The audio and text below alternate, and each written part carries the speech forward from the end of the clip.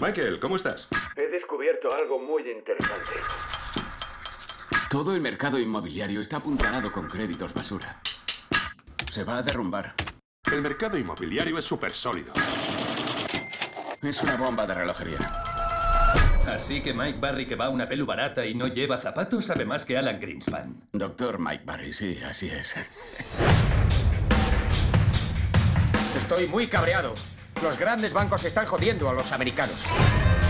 Y yo cada vez estoy más furioso. Es increíble. Y luego ese tío entra en mi despacho y dice...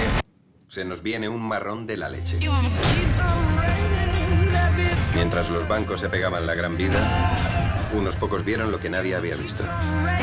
La economía mundial iba a desplomarse. Seguro que los bancos del mundo tienen más incentivos que codicia.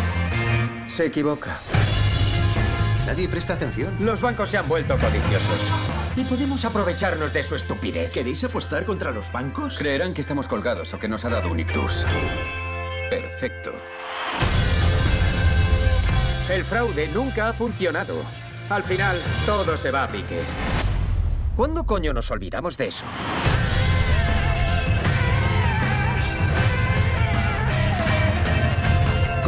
Los bancos que ocurriera esto? Alimentados por la estupidez. Eso no es estupidez, es fraude. Dime la diferencia entre fraude y estupidez y haré que detengan a mi cuñado.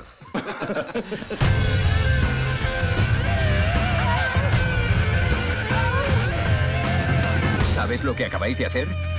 Apostar contra la economía estadounidense. Si te equivocas, podrías perderlo todo.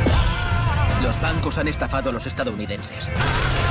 Vamos a darles en toda la boca. Vale, vamos allá. ¿Captáis a strippers con hipotecas basura? Tienen mucho efectivo. No vas a poder refinanciarlo. ¿Ninguna hipoteca? ¿Cómo ninguna hipoteca? Tengo cinco casas y un edificio.